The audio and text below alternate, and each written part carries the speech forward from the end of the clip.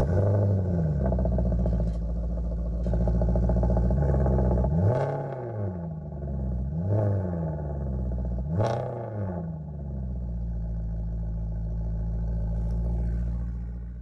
guys, thanks for joining us on probably one of my favorite cars in the entire world. I love to drive these cars. I just, I don't know why. It's just the sound that this thing makes, the look of this car, the styling has just held up so well. Uh, I like to put big wheels and tires on them because it just fills up the whole thing. Sometimes they look great with stock wheels and tires. I don't care. They are just fabulous cars. If you've never owned one, this may be one of the best buys in the entire world. Like versus sticker price versus a low mileage car. Plus, they drive nice. The chassis is super solid. The engine is spectacular.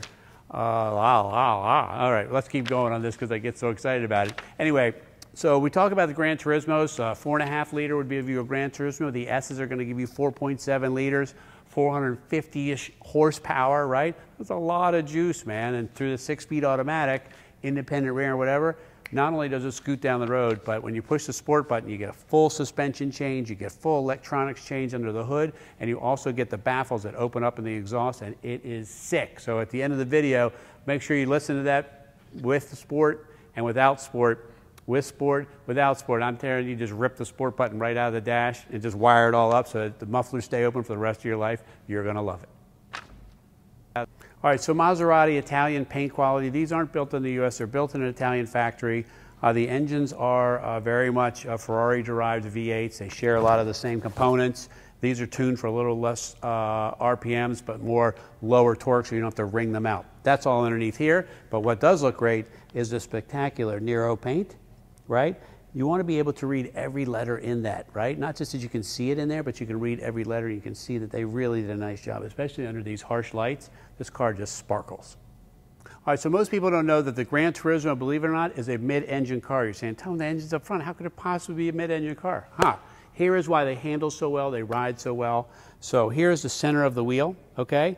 And most engines like to be on top of the wheel. This car here, the engine is actually behind the center line of the wheel. The rest of all of this is just for the style of the car. And I'll show you what I mean by that.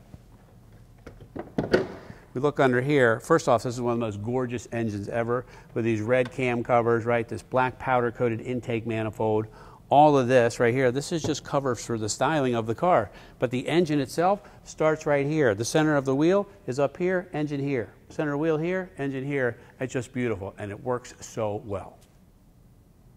All right, so a lot of times people say to me, that's a great looking car, but they don't really know it's why it's a great looking car. It's the little detail stuff. For instance, this has a black package on it, meaning that the handles, all of the chrome pieces, the exhaust tips and things like that are black from the factory. And it makes and adds to this whole aura of this murdered out, beautiful car. The only thing that you can really see are these giant red calipers and these beautiful taillights. This section here, beautifully built from behind. The styling has held up so well, and I love this emblem. Anytime I'm at a light, I always look in my rearview mirror because you're sitting there and you always see somebody go, right? And they love it. I love that. I love the fact that people love cars when they see that.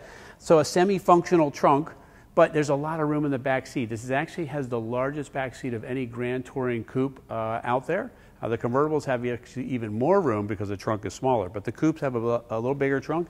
And this model here uh, has in it the uh, tire inflator as well, and also has uh, in it the uh, toolkit right? And a battery tender charger uh, because this is a super low miles. This car has 16,000 miles on it. It's a 2016. We're doing this video in 2020. So you can tell that uh, it was driven very, very little. And then once we get inside, you'll see that this is very special ordered car, very special uh, designation, and maybe the only one of its kind like this. All right, so come join me inside here because this, this is, man, this is so nice white stitching. I had these mats made with the white piping on them, right, to match that. This is Alcantara. The dash is Alcantara. The headliner, uh, fabric. Uh, the armrest, Alcantara. This console is done in Alcantara, right? Climate control, separate for both sides. Nav, great set of gauges. They're blue faced. You need to see them, man. They are so beautiful. It's like that's what the Italians do. They just do like look at this emblem on the dash, Gran Turismo Sport, right? It's just a beautiful emblem. And I don't know why they're able to do little things like these chrome rings around each knob, right? In each button that's right here. It's just a little touch of those things, right? Uh, the steering wheel is awesome. They put this stitch right here, so when you're racing this car, if you were driving this car really hard, so if you wanted to know if the steering wheel was centered, right, instead of looking at anything else, you'll know that this is up in that position, flat on the bottom, so that it uh, you have some more room for your legs. And you know, then you have all of the great things like heated seats, keyless entry, of course, power windows and power locks, and alarm system and digital sound. And uh, this has the Bose uh, stereo in it here with the subwoofer, I believe, mounted back there. The back seat, really, believe it or not, is as beautiful as the front seat. It has this. Uh, these right here are stitched into uh, the headrest for, for the front and the back with the white stitching all around it. It's just a gorgeous, gorgeous interior. Angie will take a little video of that so you can see that. And again, you know, power seats, whatever, you can drive. I guess the bottom line on this car is you can drive on this car uh, for hours and hours and feel refreshed when you get out of it. It's just so comfortable. It makes so much power and it's effortless.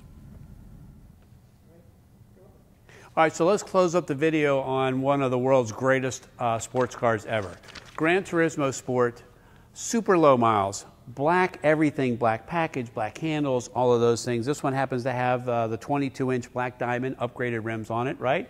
Um, they look spectacular. If you don't love those, no big deal. We have stock sets of wheels here. We can put those on. No big deal. Tell us how you like it. Not everybody likes everything, and totally up to you.